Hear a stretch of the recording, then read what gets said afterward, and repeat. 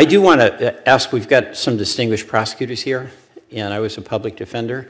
I have enormous respect for the work that you do in the judicial system, uh, and I have enormous respect for uh, the work public defenders do as well. Uh, and uh, as, as judges, you will play a major role in the culture in the courts about respecting uh, the services of the folks who are in your job, but also the public defenders, the probation officers, the court officers.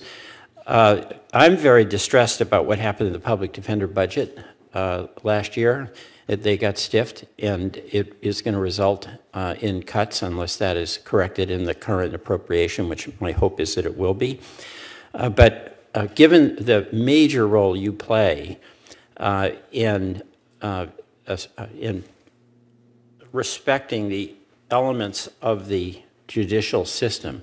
I want each of you, the prosecutors, uh, to tell me how you see the role of public defender and how you will, as a judge, make certain that that continues to be a critical component. As a um, former federal prosecutor, I represented the United States in almost 1,500 matters. And in every single one of those cases, I was thankful every single time when there was a defense attorney who appeared in the case, competent, ready to go. I, I always felt as a prosecutor that it was fundamental that the defendant's rights were well protected. Okay.